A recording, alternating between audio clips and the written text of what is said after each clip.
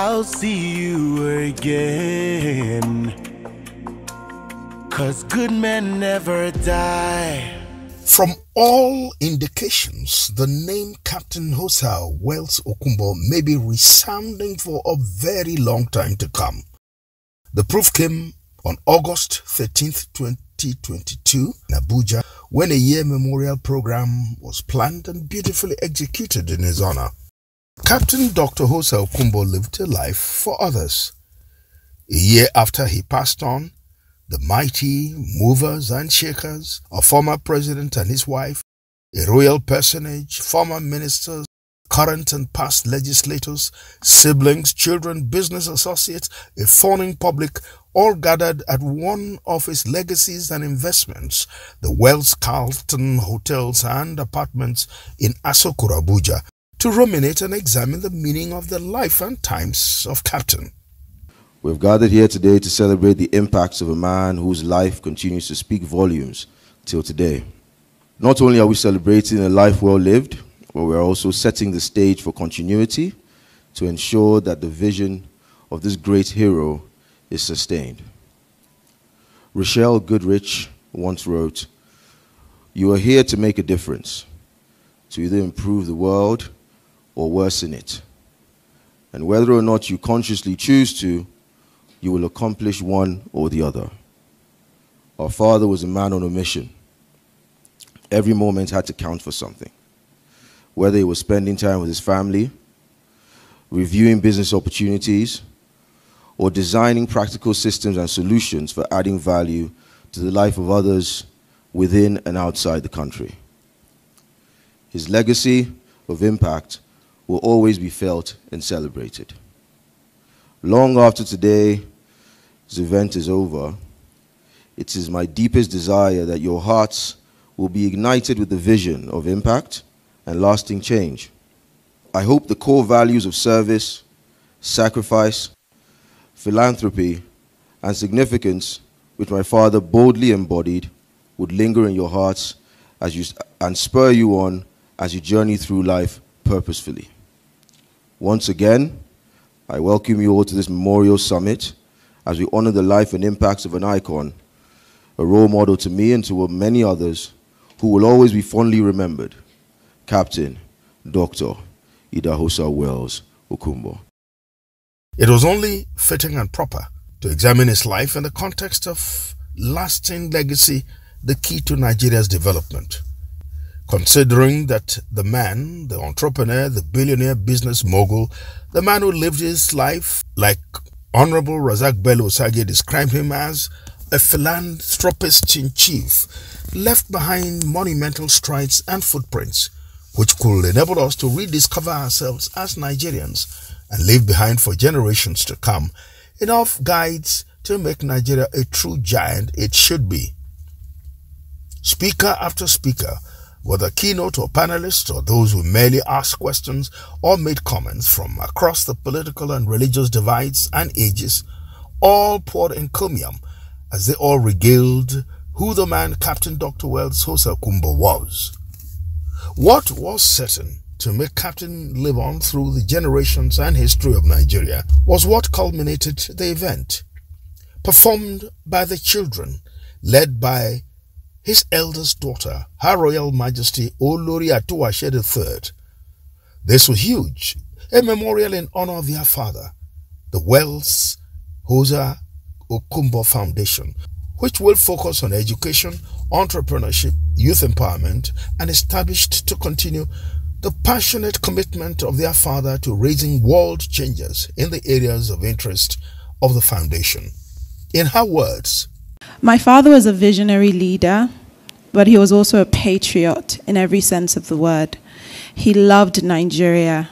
As much as he sent all of us abroad to school, at least for the first three of us that he had the benefit of seeing us graduate. Immediately after school, I studied, I would speak for myself personally, I studied um, law in, in England. And immediately after my law degree, my father said, Yeah, pack your bags. You're going to go and do law school in Nigeria. There's nothing for you in this foreign country.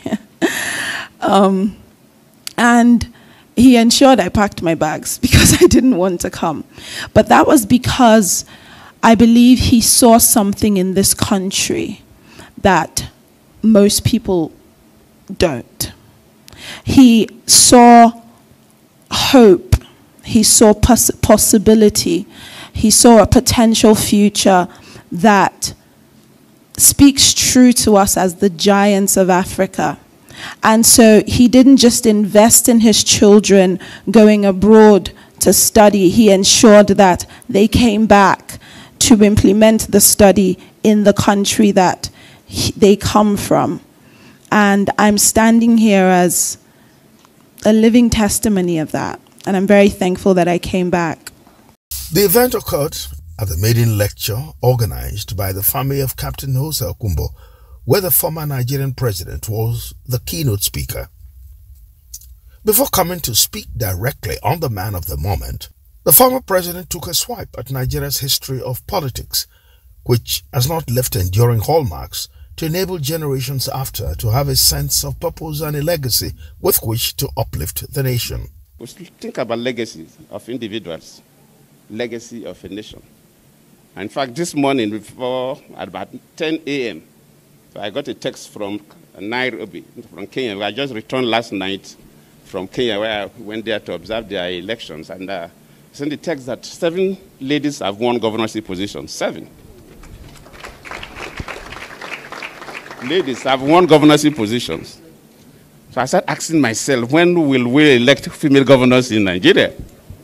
I believe somebody have left a legacy. At a particular time in their political evolution, somebody has done something. So I'm going to look through about a little bit about our political journey as a nation and try to find out the legacies that were left behind. Sometimes may be bitter, sometimes could be tasty, but they leave legacies of unity in this country or legacies of division in this country. He found time to compare Nigerian politicians with Ghana's Young Pioneer model, which helped to inculcate in young Ghanaians their passion for their nation and a desire to leave a legacy.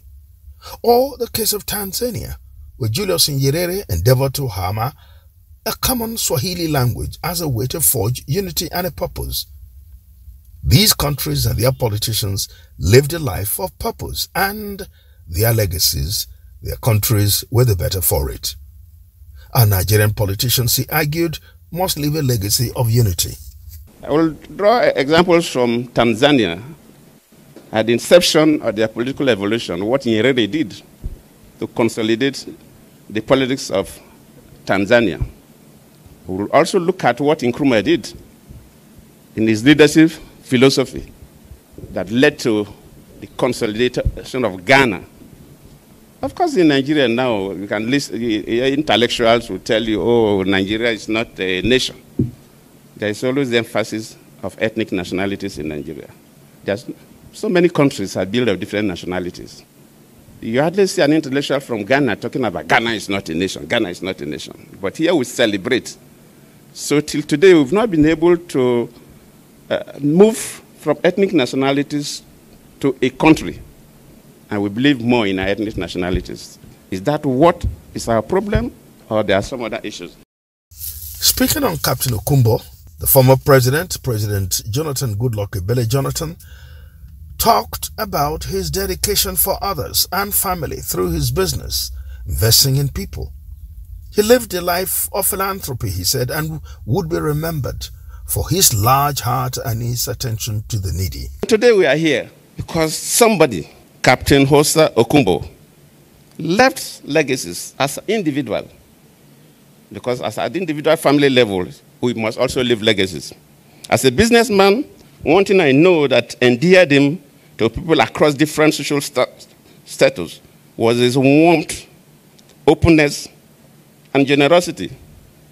If he was not a pleasant and sociable fellow, probably most of us here wouldn't have been here. Probably I wouldn't have been here too.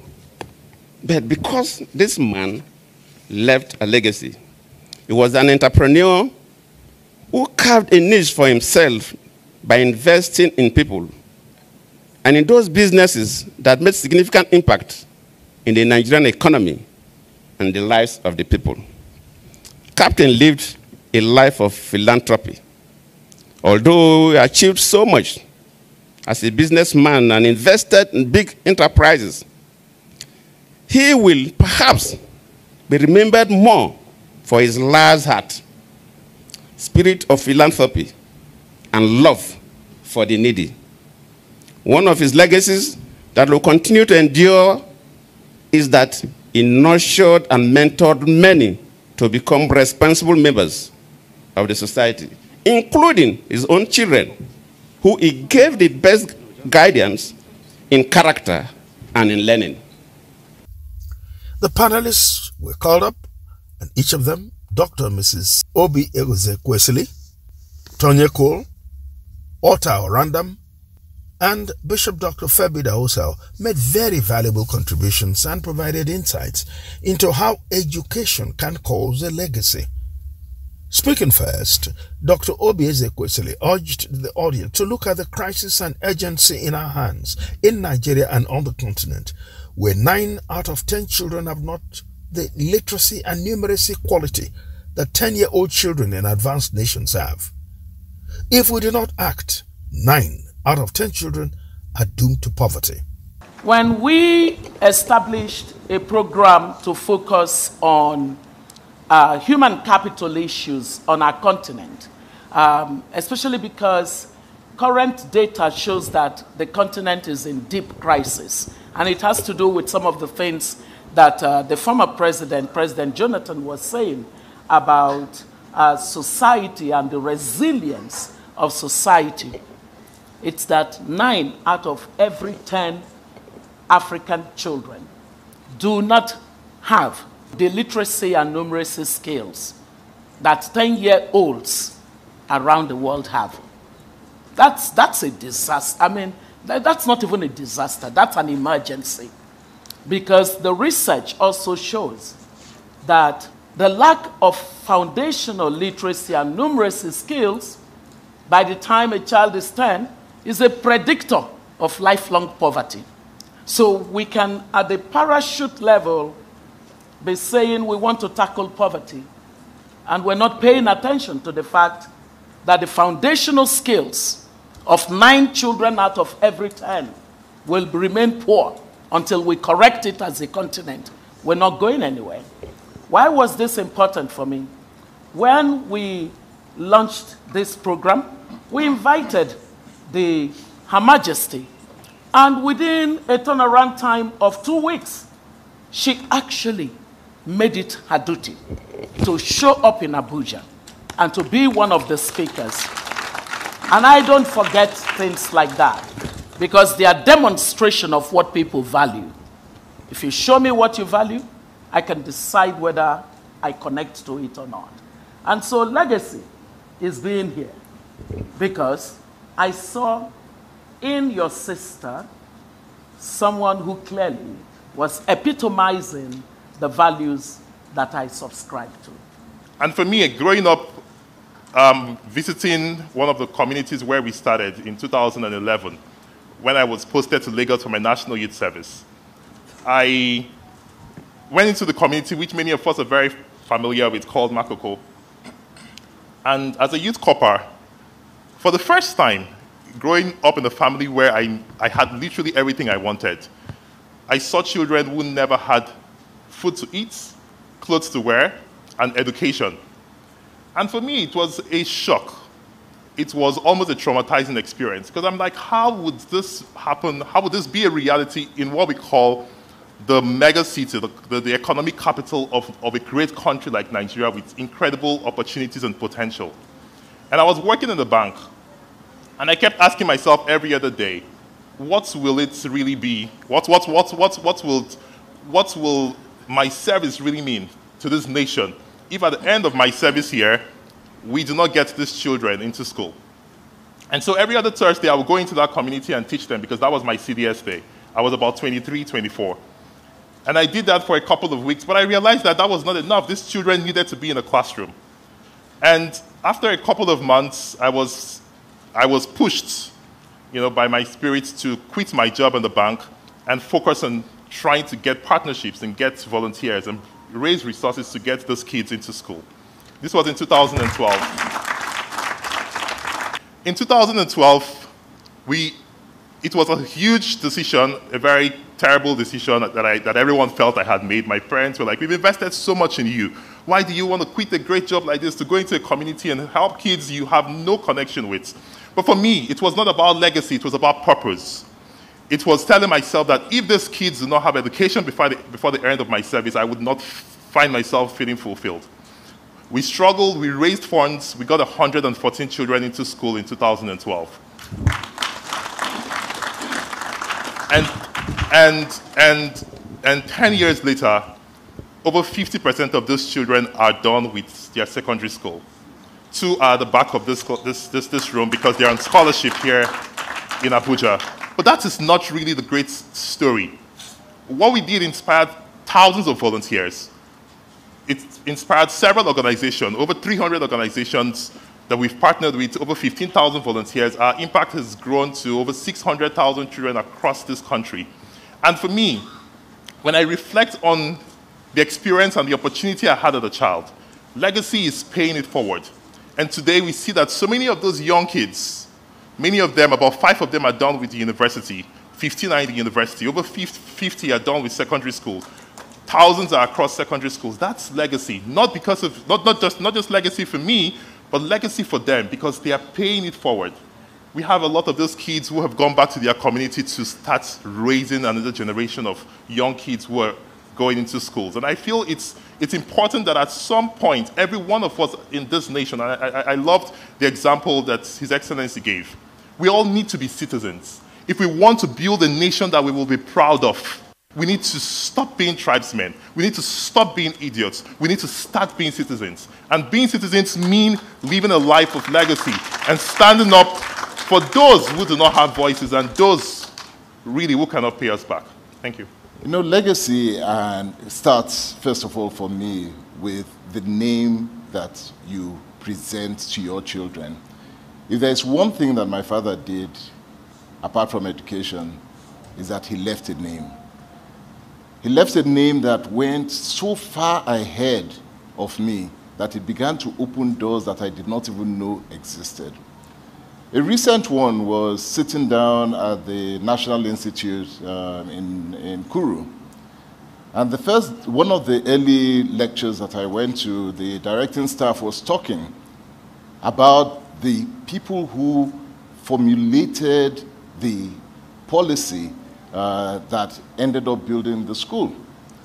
And he mentioned my father's name, had no idea who I was, did not know my father, but he mentioned, he said, one of those great men that sat down and put this entire thing here is somebody called Patrick Dele Cole, that those were the men back in the days that held the civil service. And he was talking in, with passion about what the civil service used to be versus what it is today. He had no idea. I didn't say anything. It must have been about a month later that it, my directing staff. It suddenly dawned on him that, hang on, your name is Tonye Patrick Cole. And the person I was talking about is Patrick Dele Cole. says, Is that your father? And I said, Yes, it is. But I remembered again, this is one of many examples of sitting down in a room where the weight of an expectation that had already been put forward by somebody who just diligently served had opened doors and put responsibility to you to do what is right. And so for me, when my father uh, made an impact, it's in the name. And then I remember, even as uh, Mr. President was speaking, that then legacy is not about buildings, it's not about statues, it's not about billboards and posters. Legacy goes from one generation into another generation. And most times, when we think about what makes a difference in life, Mr. President never mentioned who was the richest man in Ghana at the time in 1960s, in 1950s. He did not mention who was the richest Tanzanian at the time. He didn't mention who was the biggest entrepreneur. And all, those were not the things that created the legacy moving forward. What he talked about were the names of people who transformed their nation by doing things and setting parameters for generations to come on. And that's exactly what this is. We have a royal father sitting here. He's sitting on a throne that people long before him had built legacy on. And that's why he's here today. And he has a, he's now carrying the weight of that office for his own generation and for his own children moving forward. The name that he leaves behind is what his children will benefit from. The, the name that Captain uh, Hosa left behind is exactly what the family is living on today. For me, my father left a good name. Well, he's still, he's still alive. So he built a good name. I have that responsibility to carry that forward for my own children and for their children as well. To me, legacy is, I heard a saying once that says you can, you can count the number of seeds in an orange, but you cannot count the number of trees in an orange seed. And to me, I, I modified that to, to a mango and said, okay, you can count the number of seeds in a mango, that's just one. But the number of um, trees in that mango seed you cannot count because that mango seed will, will give you 20, 30, 40 um, more trees that will come out of that one because that one seed will give you one tree. In that tree will give you many, many more mangoes, which have many, many more seeds. And then those seeds will give you many, many more trees. So you cannot really count the number of trees in that one seed. Here's how this works with legacy. So, with a legacy of people who have left a great name, like my father, Benson Idahosa, or like Captain Osa Okunbo, we're here today, there were one seed. But when that seed is planted, the Bible talks about how if a seed does not die in the ground, it cannot truly be alive. That one seed then grows up. It gives you many, many more trees. In those trees are many, many more seeds. That's how legacy works. Because you see, one life will give you many lives. We have several children here today, and these children have many, many more seeds. You have, a, you have a, um, an organization that, that's going to give funding to other people to help them start businesses. Otto has um, started Slum to School, which um, the students from to School have come into our university.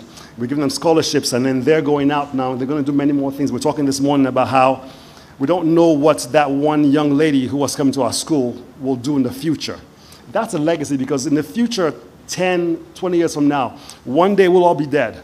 But the seed that she will do, what she will, she can help somebody else become something great. She might become a president like, like His Excellency here of the country, just from one seed. That is what legacy is. Now, has it been difficult for me? The answer yes, it's been very difficult for me because people look at me and say, and, and, and my, my brother here did the same thing, say, oh, can you fill your father's shoes? For me, it was very difficult because for many years I was trying to be him. I would dress like him, I would try to wear his shoes literally. I would try to, his friends would call on the phone, I would say, hello, Bishop. And I would try to speak in his voice. I would take his sermons and preach his exact same sermons. And one day God tapped me on the shoulder and said, Stop trying to fill your father's shoes. I've given you your own shoes to fill. And so it shifted my focus to say, you know, I'm not going to try to wear his shoes. I need to find my own shoes. He's given me my own shoes. And my shoes will take me far because the shoes he gave him took him to where he was. And so my shoes, when I put my feet in my shoes, they will take me to where God has said I should go to. And I want to say that to everyone who's a second generation um, child and legacy carrier, because the weight of the name is heavy. But that weight is what helps you get to where you, where you are. It is said that um, we stand on the shoulders of those who have gone before us. And that's truly a blessing to have a name like Okunbo or a name like Idahosa that has gone before you. You can stand on that shoulder. And then from there, you can see far and you can begin to take those mango seeds, the one seed, and plant more trees. That is what legacy is. And that's how you can become something great. An opportunity was given to former Governor Adams Aliyu Oshiomhole to speak. He was the politician that he always is, remarking that Dr. Goodluck Ebele Azikiwe Jonathan, by his action of accepting his announced defeat in 2015 and his investment in Almajiri schools in the north, has, like Dr. Wells Hosa Okunbo, left a legacy. Even in this room, Mr. President, you left a legacy. Forget that I had cause to fight you politically, but that is what But that is what politics is about. The power of example, the legacy you have laid. There is no successor who can afford to do less. That is to concede. To concede that in a political office, even if you do the unthinkable, be an angel in politics, the logic of multi-party democracy which you spoke to is that even an angel can be defeated in an election. And that you considered it at the time Nigerians were truly afraid, where generals and bishops signed uh, signed agreement to maintain peace. You didn't need anybody to call on you, and you made that historic call. That is a legacy that, however critical you are, I can't see a future Nigeria president wanting to question the judgment of Nigerians, whatever he think of himself. So you are an example of a leader who left something behind that nobody, that is the minimum standard now.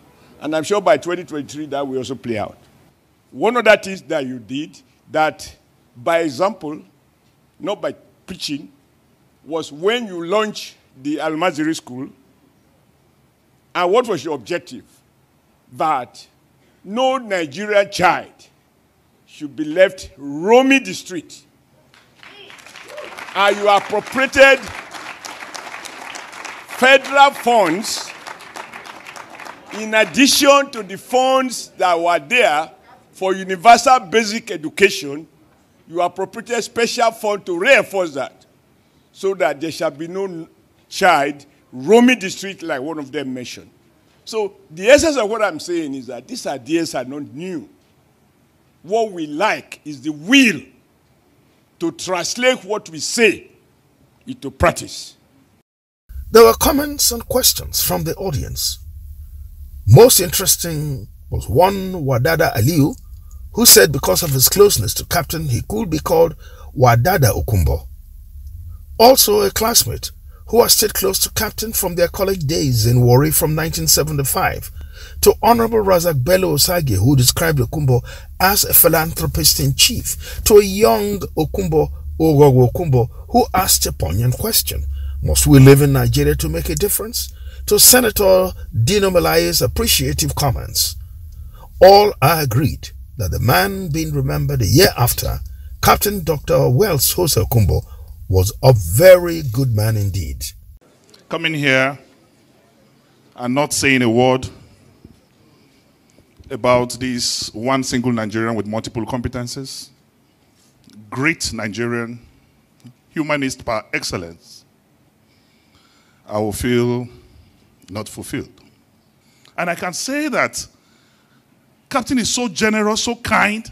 He was in London in his sick bed. After the election, he traveled. I was running for something in Kogi. Captain still sent money.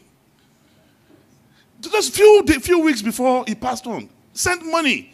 I think I saw the young man here. He normally, anytime I see that guy from Captain, I, I just said, I want to see him all the time. You know, because anytime I see him in my house, I know there's a message. He sent me money. So that is the type of man we are celebrating here today. And I prophesy, and my singular prayer is this that all his children will be older than him in Jesus' name. Amen. And by the special grace of God, you will do greater things than your father. I celebrate this man, and I want, please, uh, to the family, I will want to be part of everything that I have to do with Captain. He's a good man, he died a good man, and by the grace of God, at the resurrection hour, we will see again. Thank My you. My brother died. That day, I don't think if you took a knife, a blunt one for that matter, to cut my hand, the pain would be anything compared to how I felt seeing him go. And it goes to show that just like they say, like one philosopher said that legacy is not what you leave for people, it's what you live in them. It is not the inheritance. There's a big difference. I'm glad and healed most of the time when I think of my brother, when I hear what people say about him. It is not what he gave, what they say about the impression he left in their minds.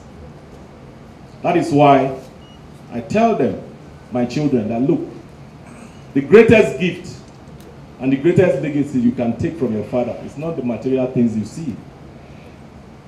It is one thing that everybody has said about him, which is love, kindness, embellished in goodwill and love for people. The father of the day, the Olu of Warri, Atuwatse III, who is also an in-law to late Captain Hosa Okunbo, had a response on the panelists' discussions and share his thoughts on his departed in-law at the event. And attaining this is never easy because great men who have truly achieved in this life, there is a temptation that comes their way a temptation that wants them to settle for the real time success they enjoy. And this is because there is no shortage of people lining up to embellish their elegance and their eloquence, constantly telling them, Baba, it's not easy to make money like this. You have done well. You have done well. And there are many Nigerians who have done well. But once they die, there's not much celebrated in terms of legacy. Some of them even go about it in their own wisdom and their own energy to launder their own image, which fades away once they are no longer buoyant or have passed away. And this brings me back to the year 2010, and I pulled Tonye's leg. I am very happy to see Tonya today because I was part of the, um, the trainee program that his company Sahara um, did. And I remember when um, Tonye Tope Kola, and they spoke to about 15, 20 of us, and they asked us a question which till today I still look around to see is there an answer. And this was in terms of business legacy. They said, how many Nigerian owned businesses can you count that have survived the proprietor's death? And we were all there in the room naming some names, and they were quickly telling us, is it where the proprietor left it? And the answer was no. And we were trying to defend it, saying, well, it's because their wealth was tied to politics, or um, there's no power generation in Nigeria. They were into manufacturing. So many excuses. But ultimately, that really opened our eyes to see that for whatever reason, we suffer from a culture of good legacy in our business world, even in our political sphere. And I am very happy to see, and what they had said to us on that day was that they intended that Sahara would be the shell of Africa. That they would be able to walk away from this company not because they were old, and that they would not force their children who maybe don't have any interest in the company to say that you must you must uh, fill our shoes, but that they would hire competent people to continue this hard work that they had started. And their children would still benefit from it anyways. And that is something that has never left my mind. The event has come and gone. But the poem by Osanwese Okunbo, in honor of her dad and the vote of thanks by Olori Atuwatse III show how much Captain Dr. Wells Hosa Okunbo is loved by his children and would be missed. So the poem I'm reciting today is called Holding the Fort. Within the earth's beautifully textured greenery and the clear sky's scenery, the constancy of my voice has remained. Age long wisdom explained.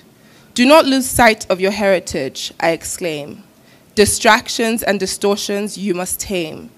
For you who have risen to heights today must make room for others to build upon the foundations you lay that in the fullness of time, when, one, when what was once my vision becomes yours, you shall, with every sense of continuance, groom the progenitor's vine, in a behemoth of generational sustenance that soars. Thank you. It is with great honor that I would like to announce, on behalf of my family, the launch of the Wells Hosa Okunbo Foundation. This foundation is an expression of his undying legacy.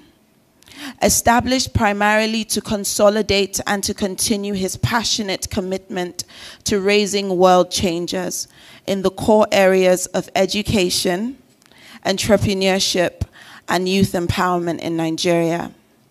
Through this outfit, we are determined to revolutionize the face of industrialization on the continent of Africa by promoting indigenous innovations that can boldly make a mark in the global space.